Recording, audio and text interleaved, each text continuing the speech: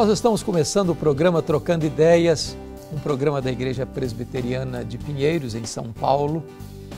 Igreja pastoreada pelo meu grande amigo, irmão, Reverendo Arival Dias Casimiro, um homem de Deus, um líder que tem influenciado a igreja evangélica na área de plantação de igrejas, de crescimento da igreja. A Igreja Presbiteriana de Pinheiros é uma igreja comprometida com a palavra de Deus, mas uma igreja viva, alegre, contemporânea, relevante, missionária, uma igreja para você e para sua família. Gostaríamos muito mesmo que você viesse nos conhecer. Talvez você está procurando uma igreja em São Paulo para você, sua família.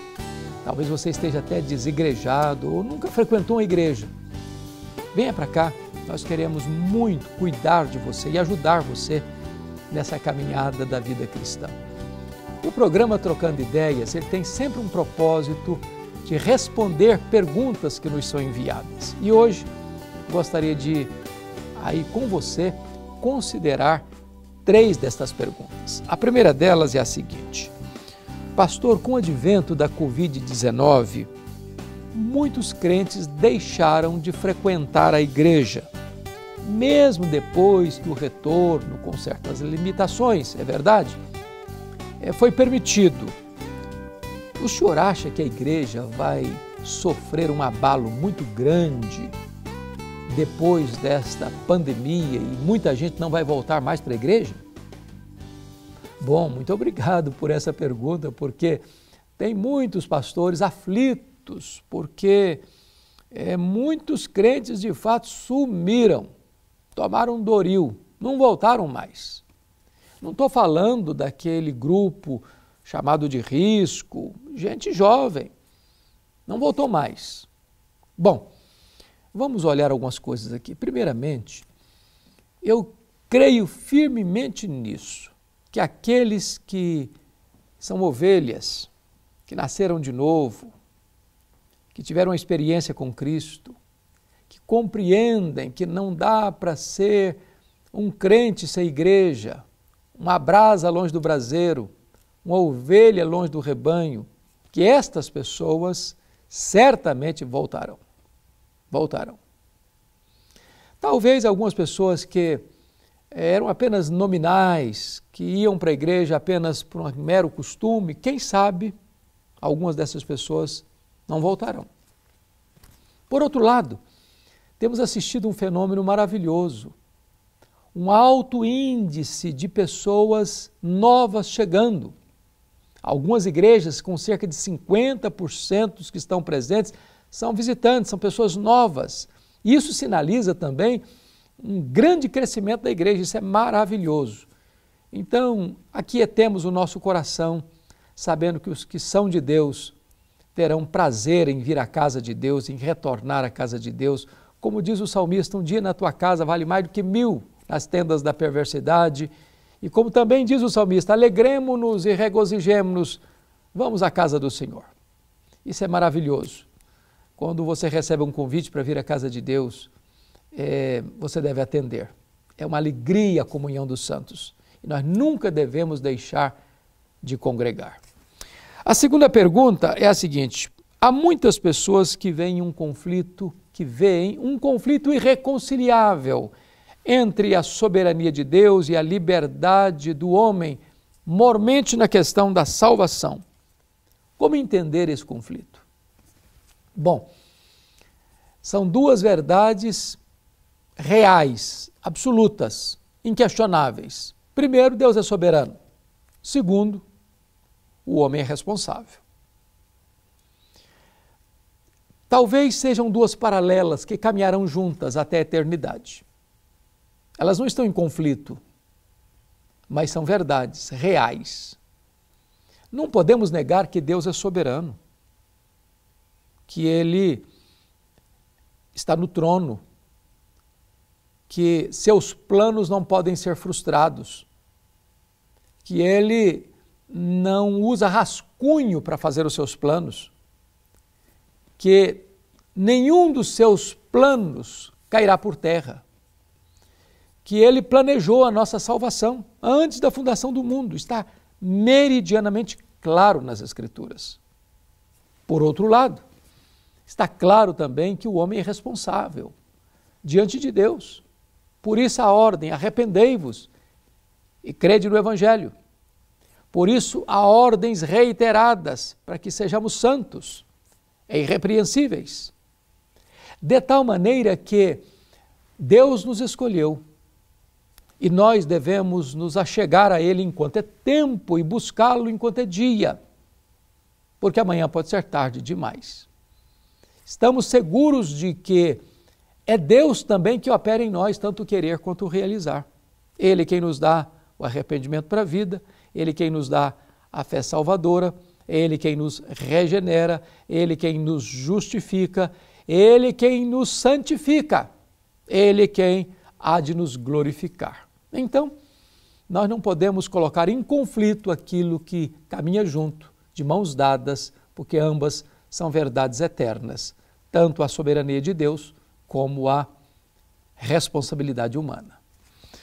A terceira pergunta é a seguinte: Pastor, em muitos países o aborto tem sido aprovado como um direito exclusivamente da mulher, como se o feto fosse parte do corpo da mulher. É, então é a mãe que toma essa decisão e só ela, e ninguém pode interferir nisso.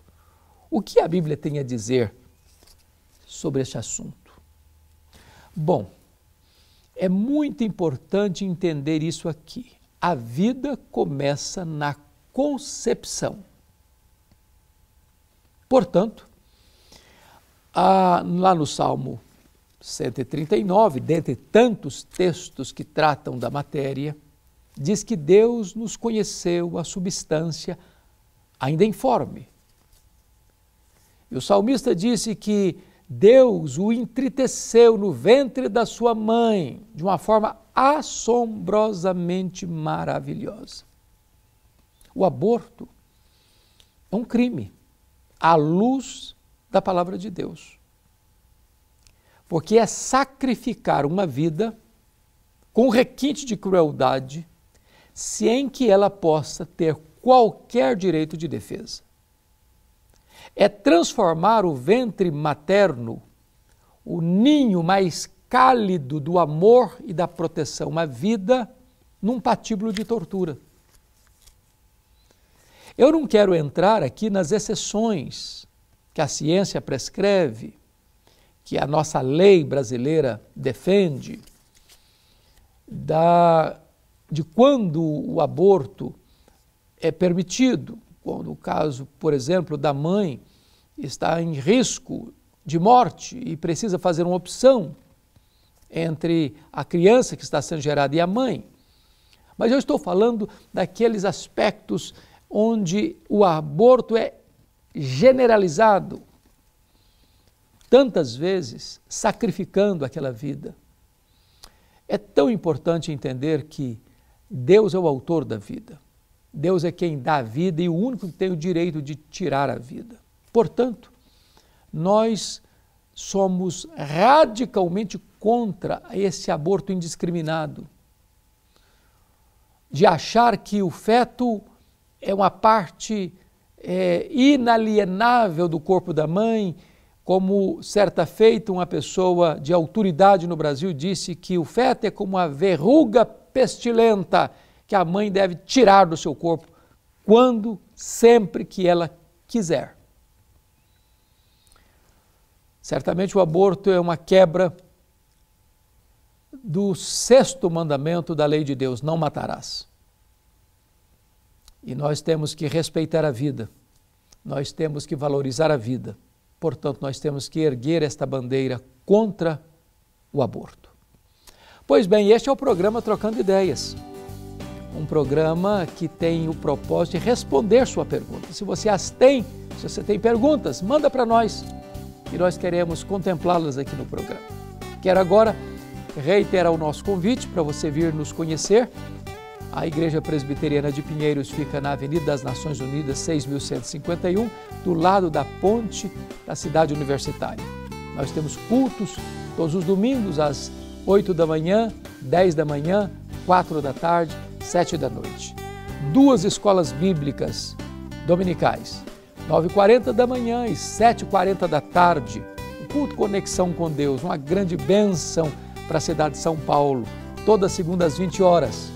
E um trabalho muito, muito interessante para as mulheres, toda terça, duas e meia da tarde. Você que mora em São Paulo, venha para cá. Se você está desigrejado, procurando uma igreja para você e sua família, ou talvez nunca frequentou uma igreja, mas gostaria de fazê-lo, nós queremos receber você com muita alegria, com muita alegria. Mas você pode também, sendo de São Paulo ou de qualquer outra parte do mundo, acompanhar toda a nossa programação pelas redes sociais da igreja. Se você ainda não se inscreveu no canal de YouTube da igreja, inscreva-se, participe de todo o nosso acervo, de todo o nosso conteúdo.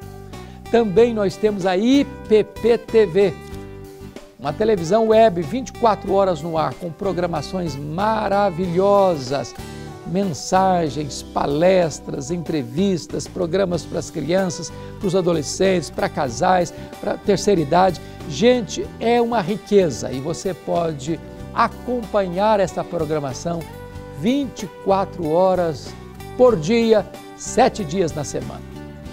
Eu quero registrar aqui a nossa gratidão pela sua audiência e eu quero convidar você para estar conosco sempre nas nossas programações. Até o nosso próximo programa Trocando Ideias, se Deus permitir. Um grande abraço a todos vocês.